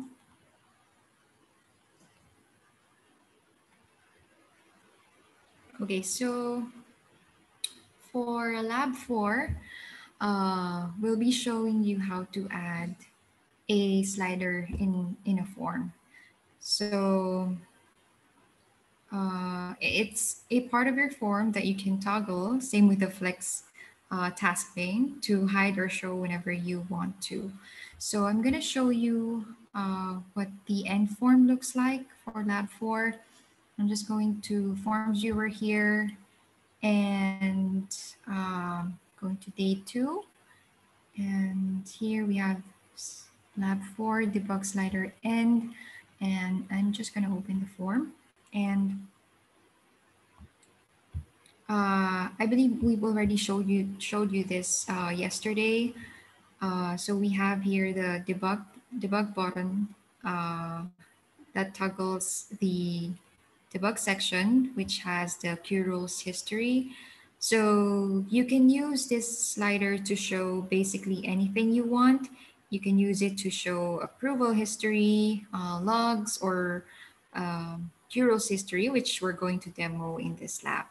So let's go to our course directory here and download download the package for that lab. So I, I've already done that and I have here the package in my local folder. So in that package, we have the start and end form. We also have this debug uh, PNG file here. And we also have here the debug slider CSS file and also the toggle class that uh, Joanne also used in the, in the task pane. And you also have the PDF file that you can follow to add uh, to add those steps to your to the uh, sample forms here. So first, let's start with opening our starter form. And the first thing that we need to do is to add all of the resources that are needed to be added. So go to the data tab, uh, go to resource files and click add. Go to our local folder and add the debug slider CSS and also the uh, toggle class JS file. And I believe we should also add this debug uh, PNG file for our picture button later. So I'm using the uh, same sample form yesterday, the end of day report. And the next thing that we need to do is to um, add a rule in the finish loading node. So go to the Qdabra rule secondary data source and click finish loading. And in here, we're going to, just below the load JS rule here, we're going to add uh, a rule, a new rule. Let's call it load debug slider uh, resources. And let's uh, call the command, Qdabra rules command, and add the load resource command here. Uh, so we're going to add our CSS, which is a debug slider, and I've copied that. Uh, let's uh, add the command again and paste that in here. Oops, forgot to copy that. Sorry. So going back, paste that in here and change this to uh, toggle class .js um, just want to make sure that that's the one. All right, yeah, toggle class because the um, the rules command syntax is very case sensitive, so you have to make sure that you're adding the exact name in here. Um, all right, so after that, uh, we're going to add a section in our form canvas at the bottom of the form. Um, so let's hit enter. And we're going to use our the root group here, which is the employee report. So there's actually a technique in order to add a section here uh, in if you want to reuse an existing group. So just um, right click and hold that right click and then you're gonna drag and drop it in here and then it's going to open this section or window here. So you have to select section and it's going to add that in there. So uh, after that, we're just going to uh, adjust the size of this to have the same size as the other sections. So this is actually optional, um, but I'm just gonna do it anyway. so it looks nice. Uh, let's change it, uh, the width to 824 as well. All right, so after that, we'll rename or we'll, we'll add the screen tip to this section, just like what Yesha and Joanne did. I'm gonna name this, uh, this section my footer. Okay, click apply. And inside this section, we're going to add a picture button for our debug uh, icon there. Uh, where's the picture? Okay, there we go. And then just going to center that, delete the extra lines in there, right click, uh, go to properties and select the debug icon that we just added, debug PNG, click apply and click OK. So after that, we're going to add a rule for this um, slider or for the uh, button here. So let's call it load slider. So in here, we're going to um, set the command node to have the value custom toggle class, which Joanne also used in, uh, in your task pane. So slash selector uh, equals dot my underscore debug and then the parameter class open. So I've already explained that earlier. So it's actually, um, it will find all the class that has the, uh, all, all the class my underscore debug, and it will uh, include the uh, CSS for, for the open class. So click OK. And after that, we're going to add another section at the bottom. So I'm just copying this one and paste it in here. Um, adding that to center, remove that picture button there. And we're just gonna rename this section um, my debug, my underscore debug, click apply and copy that again and paste it inside that section. So this is the new section now, the inner section.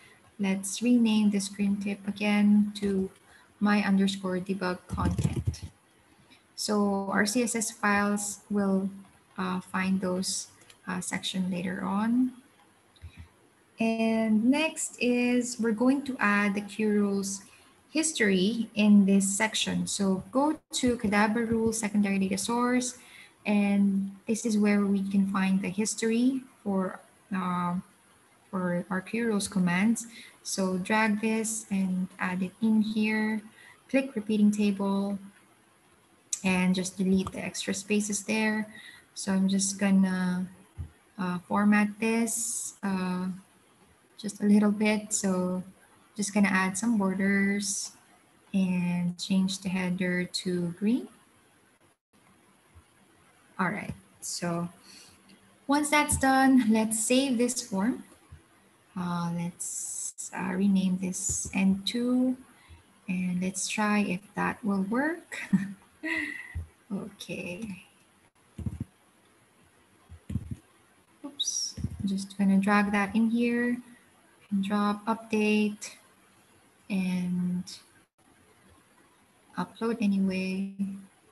And it should give you the same output.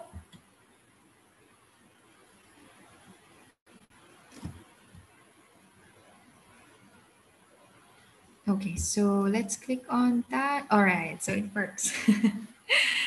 so I also wanted to show you how the CSS uh, works uh, for this slider. So I'm gonna click inspect and I'm gonna, I want to find the uh, debug, my underscore debug uh, section here.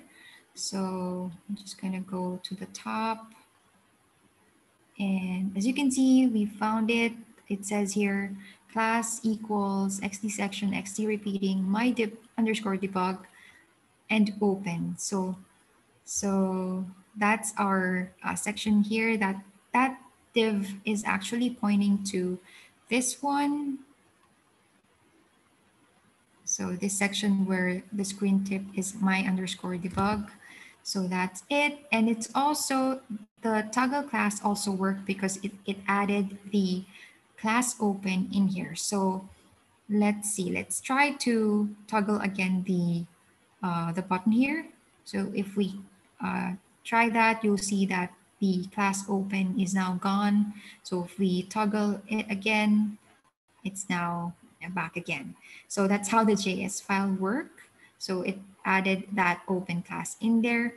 So if we go in here in the styles tab here and find that open class, so I'm actually going to open first the debug slider CSS so that you'll see that we have the open class in here. So, right, so this is our open, open class. So uh, the dot here indicates that it is a class. So it actually adds this um, CSS in our uh, debug section there, the transform translate y uh, minus 350 pixels. So if we go in here again in the browser and find that open uh, class, let's find, all right, so here it is. So if we try to um, uncheck that, it's going to, it's going to hide our debug section. So the transform in CSS, it actually allows you to move elements and the translate y method moves that element from its current position according to the parameters given for uh, the y-axis. So this CSS declaration means that we want to move our debug section 350 pixels above from its current position. So the our uh, debug section is originally uh, below below of our page. So so that transform um, uh, transform CSS element uh, does that um, does that uh, execution there, where it where it moves the um, moves the section at the top. So that's why it's doing that um, execution there. So another um, CSS declaration that I want to discuss is um, the transition. So if we uh, search for the my underscore debug um, class here, so as you can see, it's in here. It's also in our debug slider.css. So where is it? Uh, there we go. So this is the this is the my underscore debug um, class there. So it has the transition here. So if we try to, so the I'm gonna describe that first, explain that what the transition is. So it allows you to add an effect where the element starts slow, then also ends slowly. And we're giving the transition a duration of uh, 0.5 seconds. So that's why you'll see that it glides like that. Um, and if we try to uncheck that um, uh, CSS there, you'll see that it's not sliding just uh, just like earlier. So that's what the transition is for. So if we also try to change this to, let's say two seconds, uh, you'll see that it's going to be slower. so that's how the transition uh, works.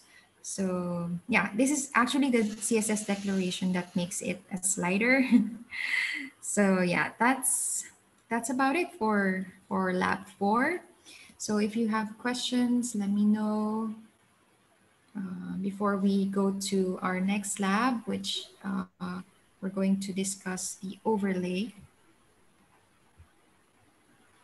I right, think I would I call it a, a peekaboo peekaboo yeah. slider. yeah, we can. yeah, we can call, yeah. Call it that. Yeah. but for formality's sake, we're calling it the bug slider. Yeah. and actually, I think that for for other forms, I I think you've used this for history section instead of the bug slider, right? Yeah, I've I'm actually working on a form with Prestonwood, with Richard and Alicia. So I've used this uh, technique in their form. So yeah. yeah. So anyway, um, let's go to our next lab, which is um, overlays. All right, so in this lab, I'm going to show you how to uh, add modals or, or, and overlays to, to your forms. So going back to the course directory here. Um, right. So there are so many benefits of using this technique. Um, so I'm just gonna open the end form right now just to show you what it looks like. All right, so I've added here, so this is the same form, the end of day report. And I've added here a picture button uh, for information. And if I click on that, it's going to show you this uh, beautiful overlay. In Actually, this is the, uh, what we call the modal, uh, the window, and the overlay is the this gray area in here.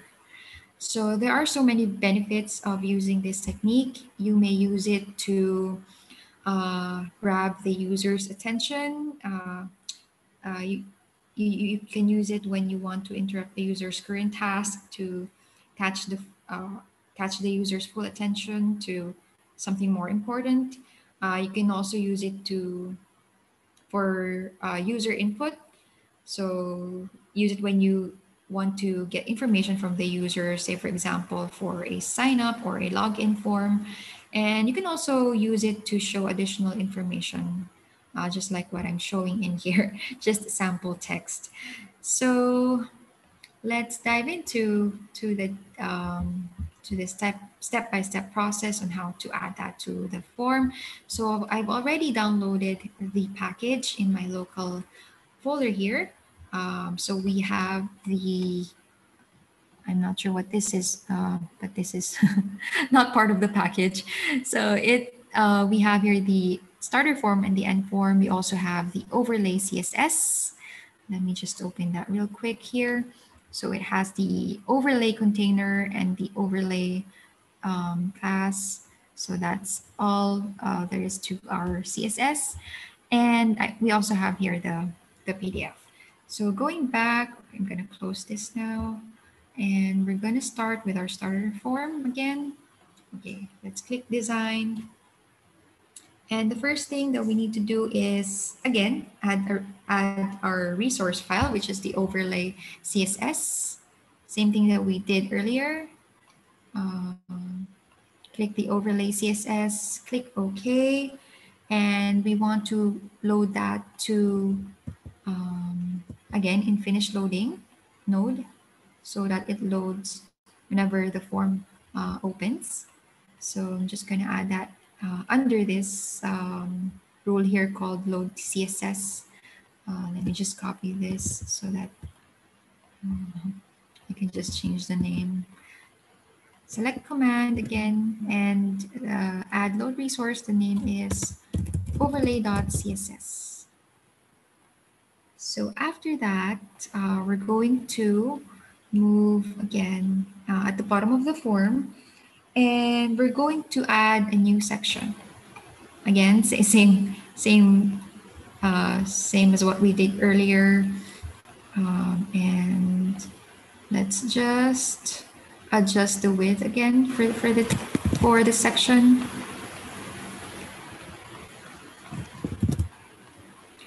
And then add that to the center and go to properties again and add a screen tip called um, my overlay container.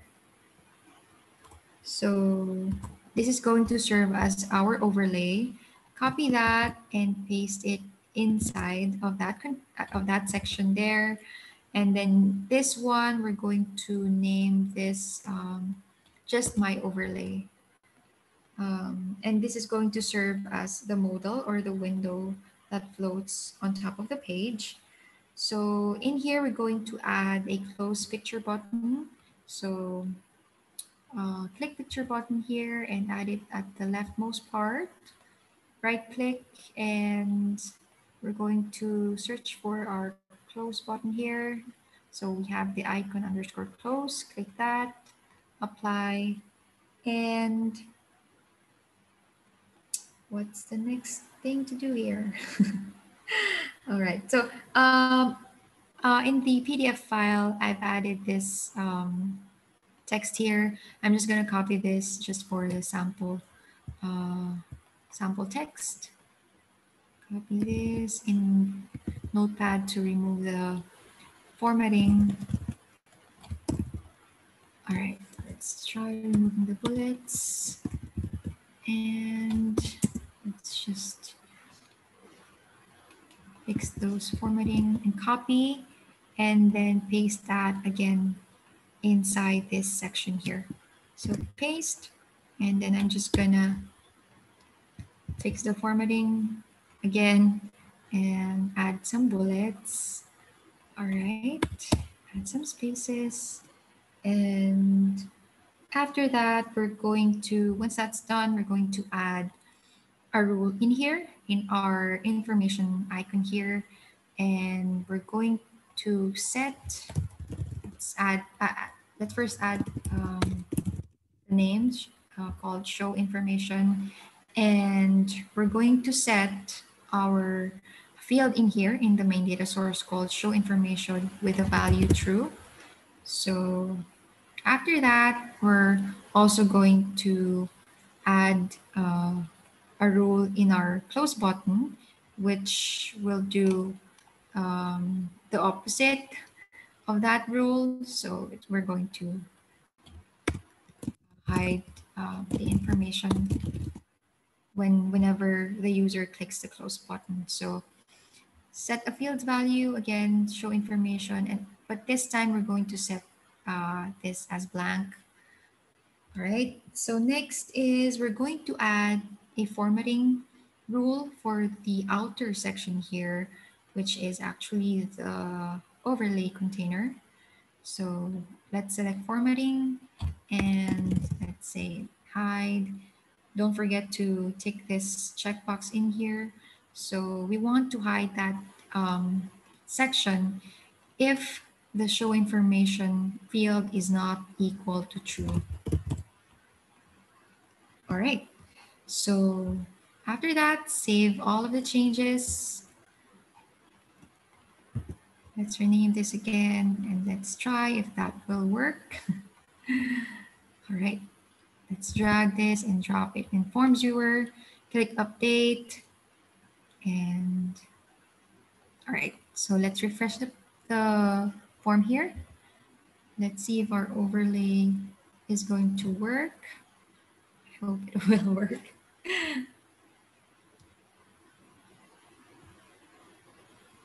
All right, so let's click this icon here. All right, so our overlay and the modal work. So uh, I also want to show you uh, the CSS behind this by showing the inspect element here in the browser.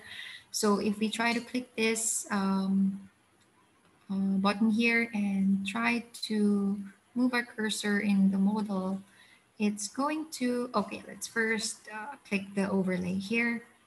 Okay, as you can see, it's calling the class my underscore overlay container. So we have here, let's see. Okay, so we have here uh, the position fixed, uh, which means it always stays in the same place, even if the page is scrolled. So this is actually the, the overlay uh, container there.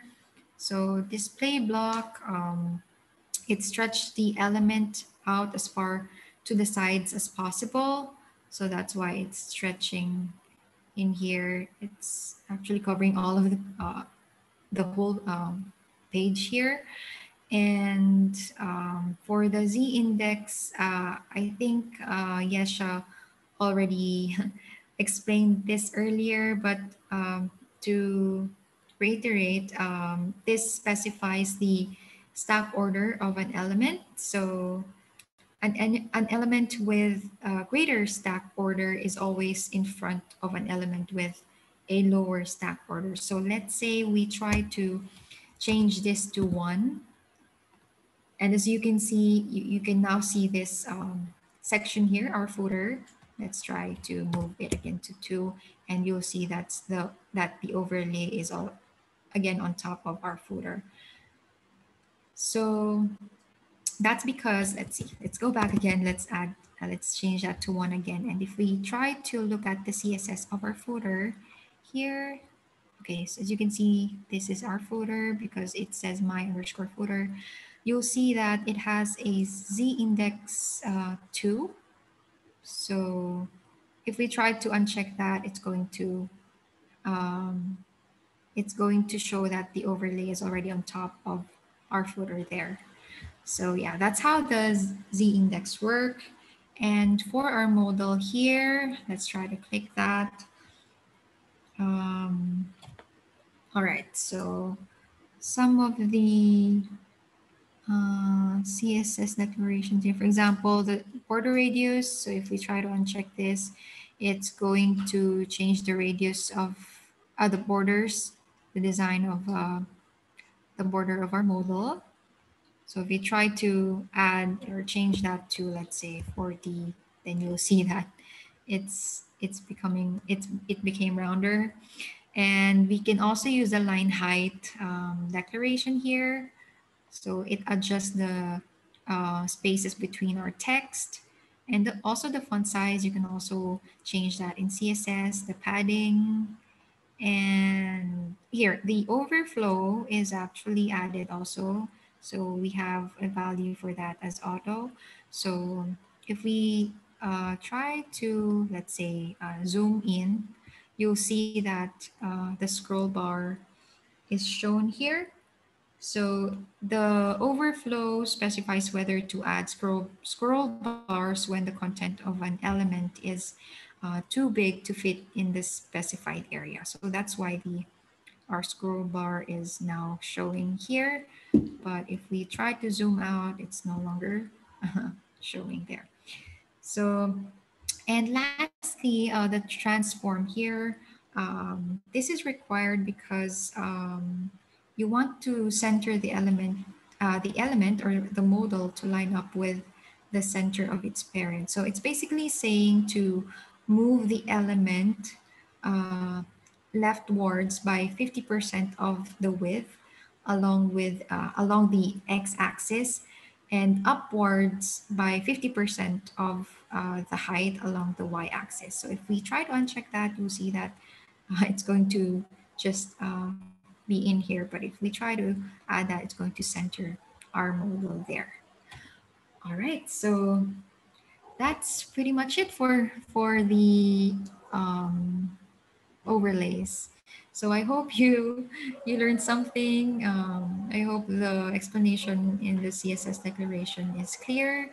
And if you need help with any of the labs, just let us know.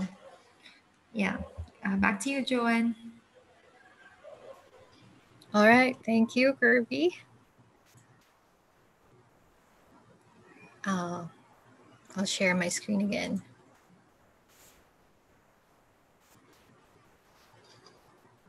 Okay, so before we end day two, we'd like to uh, do a quick summary of uh, what we did today. So for lab one, yes, Yesha showed you how to make responsive forms. So uh, she showed you how to to make your uh, form fields flexi flexible regardless of the the screen size. And she also she also showed you how to make your forms mobile responsive and with the added technique of the floating labels in lab 2 i think that uh, really uh, added some uh, beautification there um, and then i did uh, the flex task pane we show you how to add a flexible task pane that you can use in your forms to uh, display information uh, like help section or buttons that will switch to different sections. So it allows you to, uh, it allows your users to complete their tasks without switching to a different view. So that's really helpful. And then uh, Kirby showed you how to add that debug slider and also lastly the the overlay which I can already think of many ways how I can how I can uh, apply this overlay technique to to my forms. So that's the summary, um, quick summary for day two. And as we always do, we'd like to ask for your comments for, for what we did today. So I think that we only have Emma and Richard. Thank you for for staying with us. And so I'd like to hear from you. Uh, any comments you have, any takeaways, or what you learned from this uh, day that you'd like to share with us. I would really appreciate it. So, can we well, start? Um? Oh, okay, oh, Richard. First. I'm sorry. I was just going to say that I, I, um, I think all the labs and everything are going really well. Um, I appreciate all the explanations for everything. Um, so thank you. That's all I have for now. Yeah, thank you, Richard. Yeah, I hope you, you find those techniques useful for your forms. And Emma, hope, hope you're still there. Yep, I'm still here. Uh, in particular, I was really, really interested in using the screen tips renaming them and mm. creating the classes i had i didn't realize that that was what was going on in those forms i haven't done a lot of styling in my forms it's been mostly background functionality so i haven't made them look and feel kind of modern or pretty yet so when i mm. was watching that i, I was kind of really surprised i was like this is awesome so i thought that that was really mm. really great that that's how you can apply all the different styling to them fairly easily. So I thought that was a really cool little kind of way to get that done. Yeah, uh, like you, I was actually method. Mm-hmm. Okay, I was uh, Kirby. I was gonna ask you um, when w- w- I had a training session with you um, uh, for CSS, uh, you know, a, a few weeks ago, and one of the things that we were doing is I'm, I'm trying to remember it. It's um, but we were having to like take the form and then we were having to What was that? um, we were having to like unpackage the form and grab a Yeah. I- yeah, I remember. So you, you mean we're trying to um, extract the source files of the of the form, right? So right now we, well, Kaoru um, figured out this uh, um, you don't have new to do that technique here.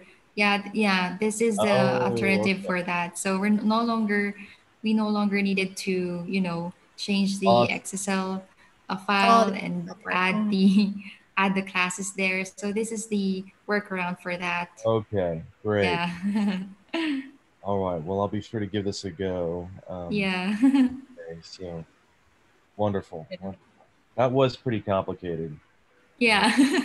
I agree. Yeah, no one wants And to it do could al- that. yeah, it could also ruin your form, right? Because you you don't know if you, you could Yeah. add uh, wrong wrong text in there. Yeah. So Mm. yeah i'll be working on this tonight and uh, we'll um, i'm excited to see what uh, how it turns out so yeah, thank glad to hear that. Thanks, Richard. Yeah. And to add on that uh, screen tip part, just like what Emma felt, I I also felt surprised uh, learning about the screen tip because um, it's actually often ignored in InfoPath. We don't usually use the screen tip anymore, but Kaoru Okamura discovered that last April, and so we're really happy to to share that with you, and we're giving credit to her for for uh, this technique. So yeah, thank you so much for yeah. I Go do, ahead. I do have one other question. Um, so with the uh, with the new CSS styling, um, it where it takes the the border of your form and rounds off the corners. Mhm.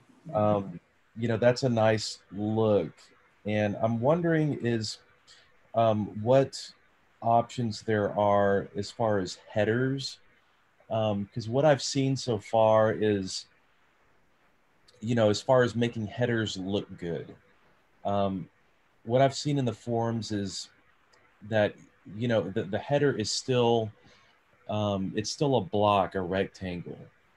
Um, either that or you just type in the text uh, and don't put a you know in any indication of a, a shape there.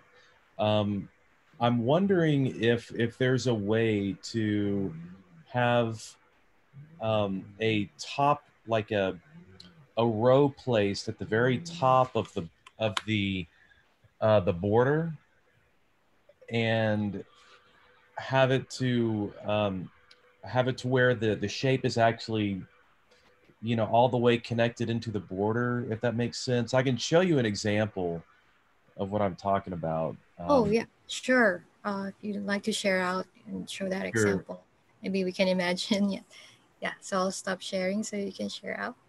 Okay. Share screen.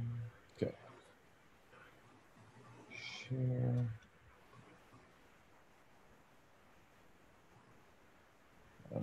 I've just I've got this in an email. Um,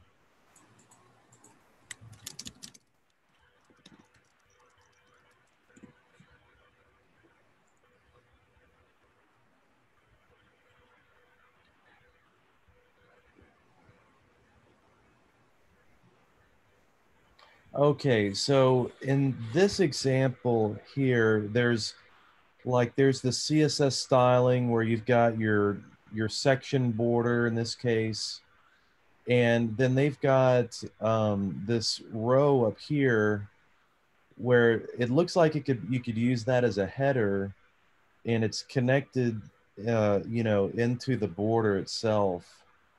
Um, and I'm just I'm wondering if if you guys have ladies have um, come across any way to do something like that for a header um, because Yeah. it looks so much more like Mhm. complete than putting a a rectangle, you know, row Yeah. across the the top. Yeah, I understand what you're saying, Richard. So, yeah, this is actually uh, possible with CSS, um, but I haven't really um, used this this kind of uh, design yet. But I'm gonna try to figure out how we can combine uh, different uh, CSS declarations in order to, you know, um, do the same styling that you want. Do this uh, design in here to have the header um, just just like this one that you're you're showing. But yeah, it's I know that um, it's definitely possible uh, with the use of uh, CSS. Okay. And to add to that, I think looking at the image, I think this is a table with a table design using CSS. So I haven't uh, done that, but I think we can um, design, uh, put in CSS within a table. And um, so like what Kirby said, this is possible. Um, I don't think uh, it's different um, sections. I really think this can be done with a table so that we can make it a simpler uh, layout. So Okay, so if you if you go that route with the tables, is it going to become uh, more complicated to design um, since you because uh, would you still be able to use the the screen tip method? Um, um, yeah, um, we haven't tried it yet, but let's see if if that's possible or if that's easier. Um, we we can we will try uh both ways. So to check uh what's easier for us to to to apply this specific design. Great. All right. Well, thank you. Thank you, Richard. All right. Thank you, Kirby and Yesha, for those suggestions. Okay, so I'll, uh, I think I'll share my screen again. And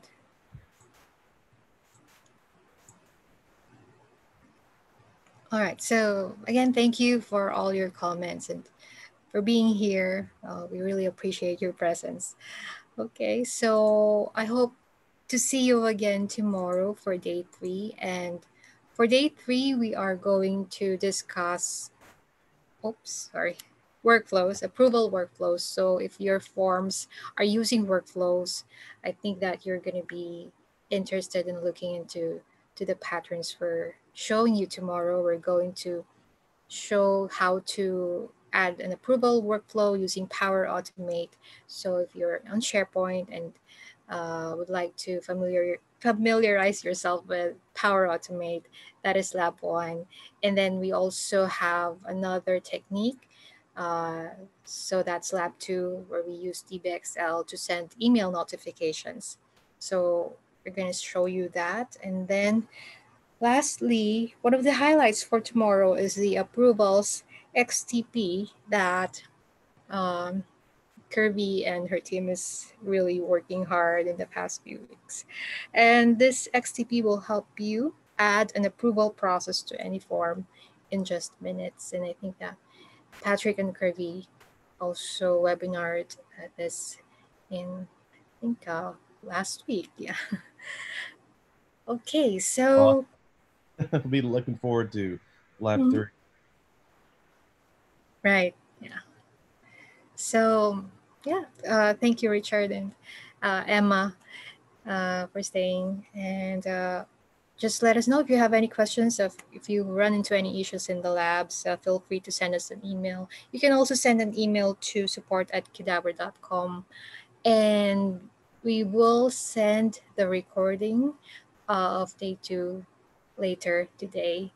Um, so you can rewatch the, the demos if you need to.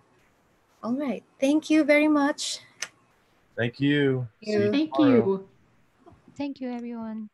Yep. Thanks. Bye. Thanks, Richard, Emma. Bye bye.